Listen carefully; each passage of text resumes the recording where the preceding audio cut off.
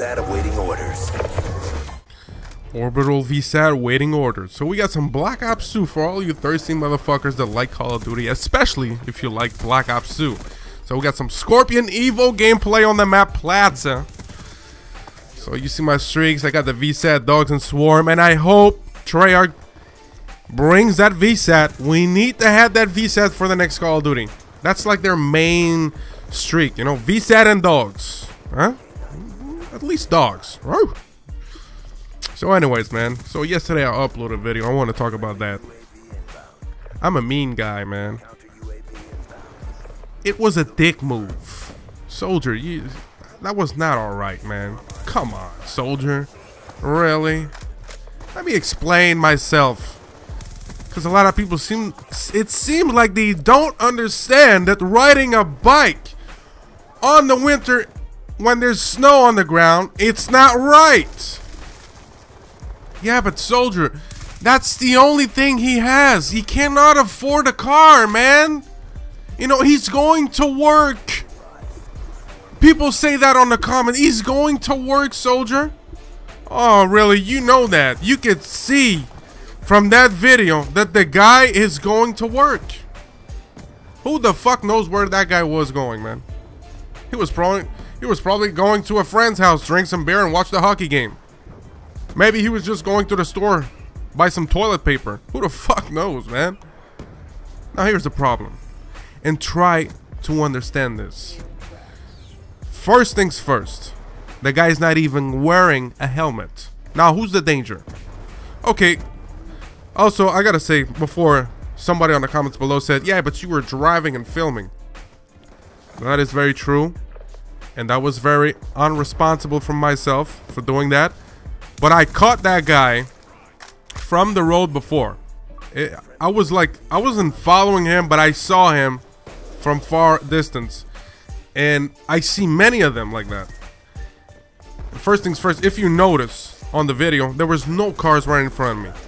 I was looking straight in front of me, and I was filming the guy. And I, you know, most most of the video was at the uh, at the red light. Okay, so let's get it on.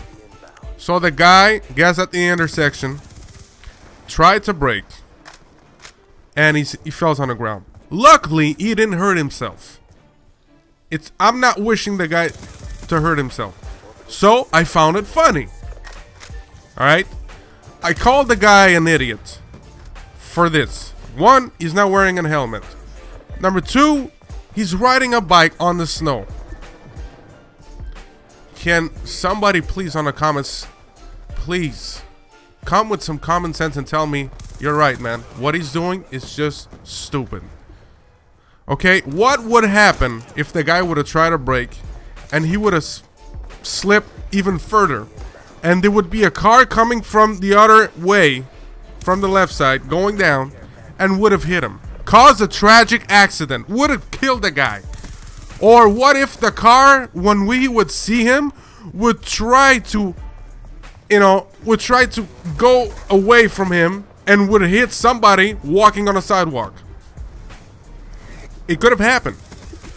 What if the guy would have fall and would have hit my car and broke a mirror or scratched my door or break my, you know, my window glass?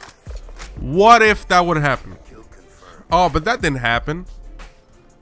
So, you know, it's a dick move, soldier. It's not right what you did, man. You know, it didn't happen. So, does it has to happen for you to realize that what he's doing is stupid and not smart?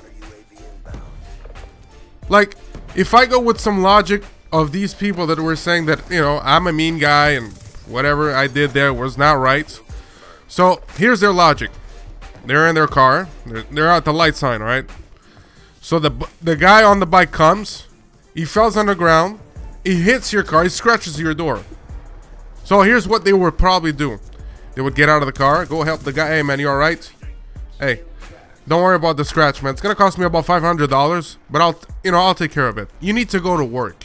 You know, you can't afford a car. It's all good, bro. Keep it going, man.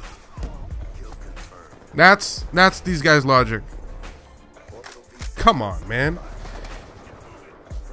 if the guy can't afford a car, I doubt the guy cannot afford, uh, afford a bus ticket or a subway or a, a cab, you know, a taxi. It's not smart to drive, I mean to drive, to, to ride a bike on the winter. If there's no snow on the ground, I can, you know, at least say, okay, you know, hey, it's just cold, man. You know, I guess the guy is going to be cold, but there's nothing really on the ground that can cause him to slip on the ground and, you know, cause an accident. Safety first. It's not that I'm specifically pointing this guy that I filmed.